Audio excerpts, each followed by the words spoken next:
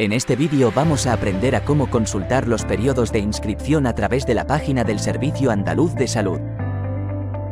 A través del buscador del Google, escribe Área de gestión del SAE. En los resultados que aparecen, haz clic en el primero de ellos. Escribe tu usuario y contraseña. Estas son facilitadas por el SAE en tu primera inscripción al servicio.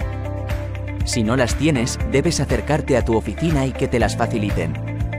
Introduce aquí una respuesta correcta y pulsa Entrar. Haz clic en el área Demanda de empleo. Hacemos clic en Impresión de informes. En el área Descargas, haz clic en la opción Informe periodos de inscripción. Especificamos la fecha de inicio deseada y la fecha de fin. Después, hacemos clic en Imprimir. Se generará un archivo en PDF listo para imprimir con los periodos de inscripción de las fechas indicadas. Puedes imprimirlo directamente o hacer clic aquí para descargarte el archivo PDF.